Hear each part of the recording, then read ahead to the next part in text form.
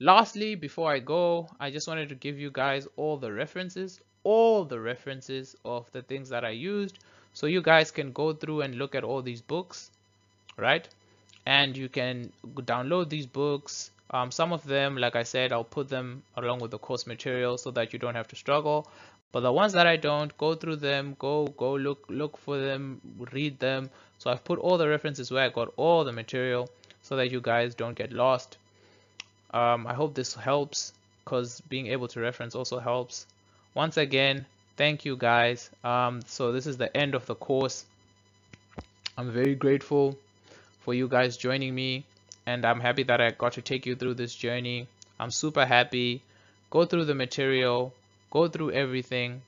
Once you buy this course, you can always come back to it. It's yours until the end of time, until the end of the world. But yeah, that's very less likely to happen.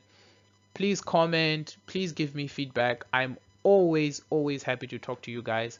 You guys are why I do this. You guys are the ones that give me the passion to put all this together record myself talking for for hours like this.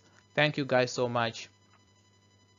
I look forward to seeing you in my next class. So most probably my next class will be something to do with water engineering. Just mix it up so maybe I might do on-site wastewater because I know a lot of people don't know about on-site wastewater, but it's actually something very important.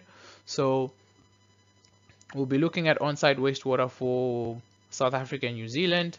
So just just so that so South Africa, Australia, New Zealand, um, maybe uh, America, but less likely America, but most probably South Africa and New Zealand because I'm very familiar with the standards.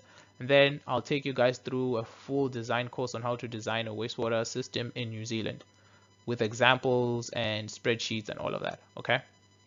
So thank you guys so much. Until next time, please keep well. Please keep please keep uh, safe. Bless you guys and your families. Cheers from Rufaro. Bye.